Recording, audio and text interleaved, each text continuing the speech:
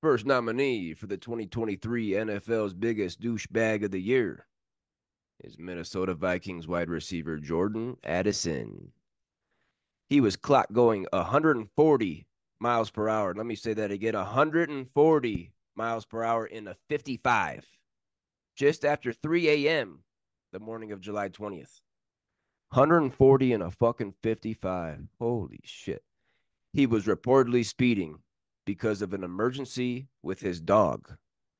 Quote from Addison I take full responsibility and full ownership of my actions.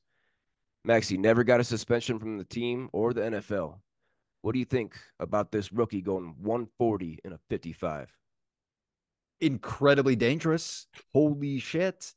Like you're obviously not thinking about it. I mean, like, I understand to have love and respect for your dog and wanting what's dogs. best for your dog. Lo- we love uh, dogs I, here on this pod. Oh, no doubt. No, I would be there for my dog too, but I'm not going to drive 140 miles an hour down to 50. Okay, there, there's other people uh, you got you got to be thinking about. That means you're swerving in and out of lanes. like, uh, uh, for a nickname, what do you think, Cole Breezy? Jordan Speed Racer Addison. Yeah, that one fits. That one fits. I'll think. I'll think more about it once we start uh, posting uh, for the votes. Everybody, we're going to need your vote, by the way, uh, at the end of this. Don't worry, we will we'll toss out a nice poll uh, later. But I'm thinking it's going to be Jordan Speed Racer Addison. What do you got, Cobrizi? Uh, anything else on this guy?